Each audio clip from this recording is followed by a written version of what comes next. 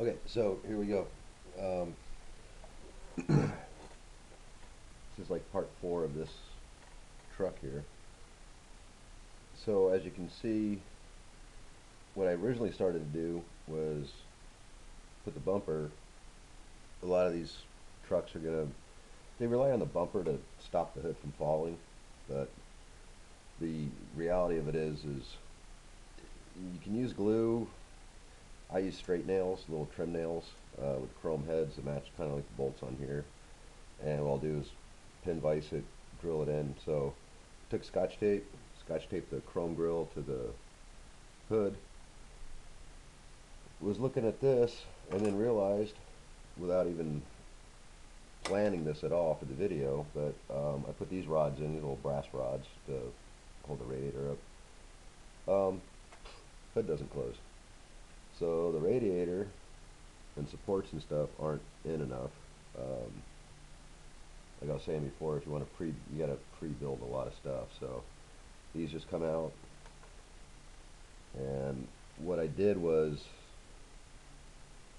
there were two holes on the on the radiator support. So what I did was I put two mar pipes in there to try to hold it temporarily. If I can't glue anything, I'd rather not glue anything. I'd rather just click it together. But so I gotta take this out, probably motor tool in here a little bit um, to get the radiator to, to get the hood to close the way it should. So um, also another tip to do uh,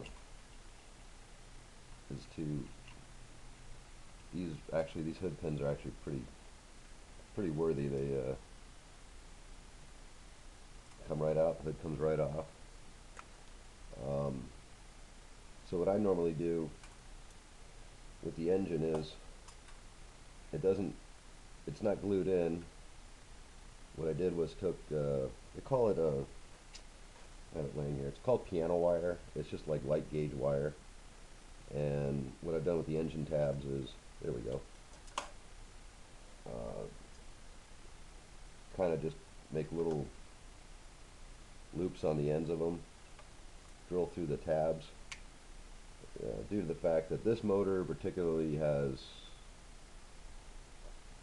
I believe it's got three points, three or four turbo and coolers and stuff going into the radiator. Wait, one, two, three, yeah, there's three points going into the radiator. And on the firewall, where this goes in, this has got to connect into here. And then the turbocharger, the air breather's got to cross into there. It, it's pretty cool if you can actually leave the motor, if the motor isn't totally welded in here yet, you can actually move it around just enough to where you don't have to keep filing and adjusting all the other stuff for the hoses.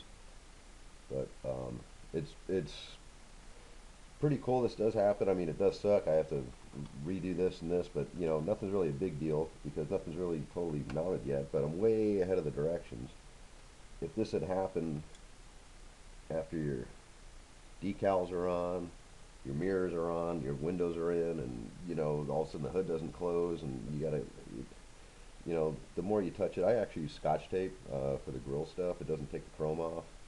Um, it might take some of the primer off when I peel it off, but at least you got kind of like a pre-assembled look of what it's supposed to look like.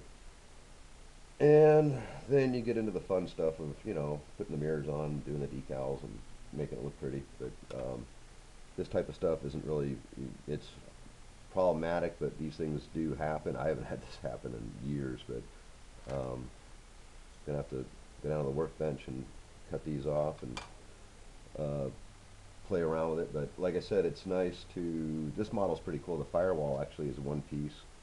So I actually took this out and kind of pre-washed it and black washed it and cleaned it, you know, made it look kind of like it's under the engine, you know, the engine interior. So I can take this back out when I paint the whole cab. So, but um, anyway, I hope this helps out, or at least uh, people who have done this before know what I'm talking about. But if you're getting in new into building model trucks, it helps out a lot because you still have your grab points here on the chassis, and I pretty much take the wheels up so they stay on, except for the front ones.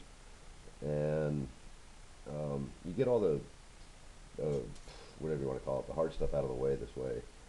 This way you're not disappointed or you're not breaking anything that happened before and, uh, going back. But, uh, this is another thing too. Like I said, it always, the focal point of the rig is actually this, where it closes, opens and closes.